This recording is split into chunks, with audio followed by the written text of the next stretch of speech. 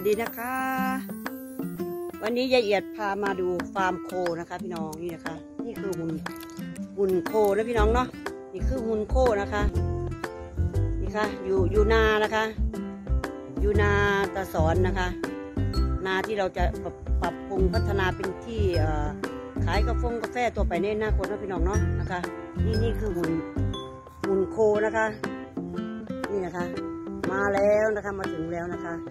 เราจะตั้งไว้อยู่ทางเข้าที่นาเรานี่นี่แหละนะคะพี่น้องนะคะอ่าตาสอนกับหนองใต้นะคะนี่นะคะ นี่คือบรรยากาศรอบๆที่นานะคะนี่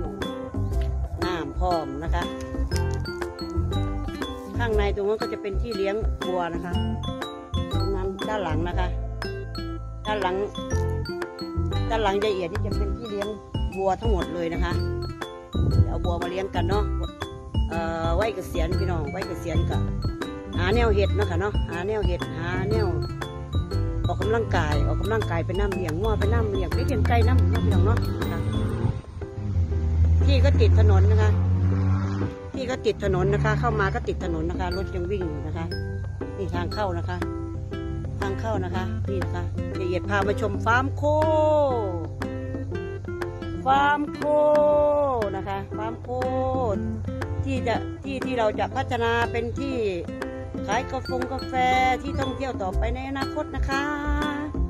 ขอบคุณค่ะ ขอบคุณนะคะ ขอบคุณพี่ๆเพื่อนๆน้องๆที่รักทุกคนนะคะยายเอียดก็ถ้าชอบก็กดไลค์กดแชร์กด subscribe กดติดตาม และอย่าลืมกดกระดิ่งเพื่อจะได้ไม่พลาดคลิปดีๆต่อไปของยายเอียดนะคะนี่นะคะสวยไหมคะหุ่นโคนะคะ สั่งตรงมาจาก จังหวัดอะไรจำไม่ได้ละ ขอบคุณค่ะ ขอบคุณนะคะ